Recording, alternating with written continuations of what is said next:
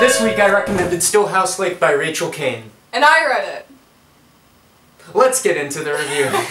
Before going into the plot of this book, something that's just very important to note is that the cover uh, gives the impression that it's a horror book. You have this like misty lake and some mysterious figure rowing. It's not a horror book, but into the plot, the whole idea is there's this family and the dad is revealed to be a serial killer, which is a big shock because they've been living together for over 10 years and the mom just didn't know.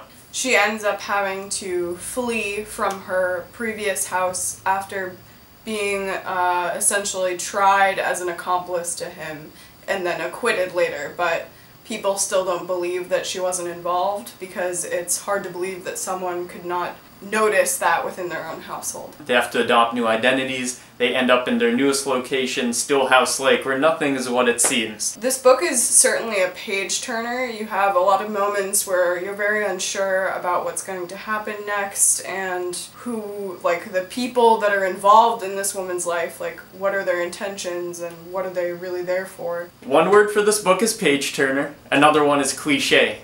This book is a big cliche. It's good, it's interesting, but you know what's gonna happen. You have a writing style that at times can be a bit cliche because there's a lot of elements to it that are either repetitive or they're kind of related in this way that makes it seem like it's it's just a bit of a shallow connection.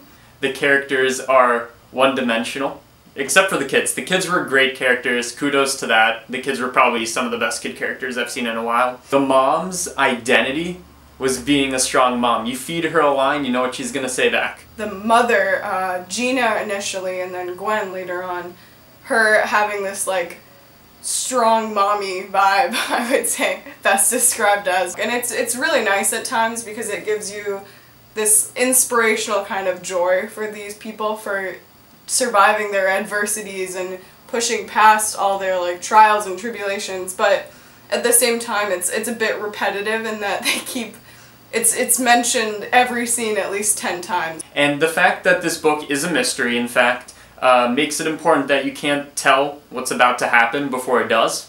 You can tell what's going to happen before it does but there are some very good twists that no one can really expect and those were really good I think the writing style was actually like kind of complicated compared to what you would expect from a story like this, so I thought that was very good. It wasn't as simple as this happened, that happened, and then this happened. It, it goes into thoughts, it goes into flashbacks, it's not 100% linear. Something else I appreciated about this book was that the author did use a lot of more recent events to kind of structure her book. For example, referencing like police brutality, or they had feminist issues and it, I felt like at least that part of modern society being integrated into the book was was nice. Overall, if I was to rate this book, I'm going to give this a 3.25 out of 5 because I think it's above average, but I think the clichéness is its biggest downfall. I would give this book uh, a 3.25 and really the only reason it's like a lower rating is because of the uh, kind of critiques that I mentioned but overall I did on, at base level I did really enjoy this book and that I like couldn't put it down. This book is good but you could roll your eyes while reading it every once in a while. While I was reading it I was invested and then after it I didn't really have any kind of lingering uh, takeaway. Do check out Stillhouse Lake. It's part of a series, and the next book will come out at some point, and I think it's worth a look at.